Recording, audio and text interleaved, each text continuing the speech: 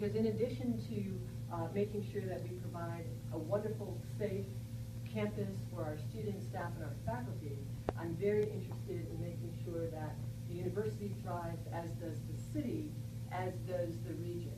And what I mean by that is North Bay.